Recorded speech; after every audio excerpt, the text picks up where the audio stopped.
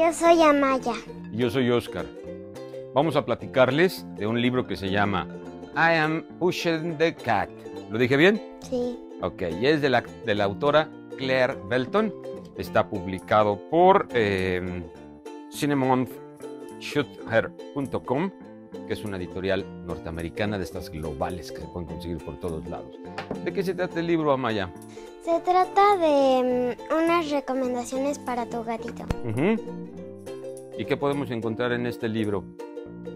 Pues puedes encontrar lo que más le gusta a Pushing y su familia. ¿Qué más?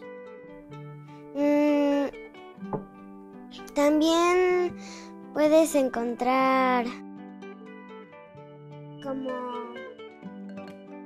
fantasías que hace tu gato Ujú. mientras tú no estás. Y a mí se me hace que es un libro muy importante porque aparte de que está narrado en inglés, es una, una doble enseñanza. Uno puede aprender, vivimos en una época que es de imágenes. Ahora todos, todos, todos aprendemos por imágenes. Está lleno de imágenes y con pequeñas frases en inglés. ¿Qué más, Amaya? ¿Por qué te gusta? Pues porque a mí me gustan mucho los gatos y tengo dos en casa. ¿Cómo se llaman tus gatos? Una, la hembra se llama Maga y el macho se llama Negro. Ujú. ¿Y qué más has encontrado en este libro?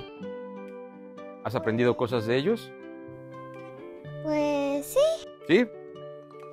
¿Qué es lo que más te gusta del libro? Los dibujos, las frases. sí, me encanta cómo dibujaron a Pushing. Ujú. Timmy, I would get roomed with a toothbrush, play with bread, bake in a teacup, sleep on a marshmallow. If cats were giant, beach closet.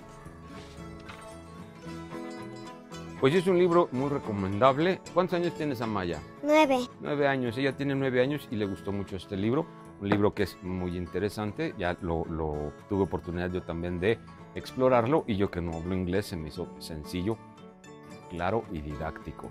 ¿Lo recomendamos? Sí. Que lo lean todos los que nos vean, ¿verdad? ujú, Amaya, nos despedimos. Sí. Despídete. Adiós. Nos vemos y gracias a la Librería Española que nos permitió grabar este segmento cultural.